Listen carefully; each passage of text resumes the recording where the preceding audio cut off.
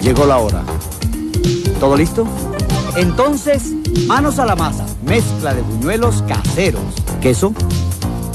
Postura de gallina. Leche. Turuara, turuara. El aceite ni ni, ni muy caliente ni frío. A punto de buñuelo. Señores, llegaron los buñuelos. Buñuelos caseros. Y los hice yo. Claro, con la receta de buñuelos caseros.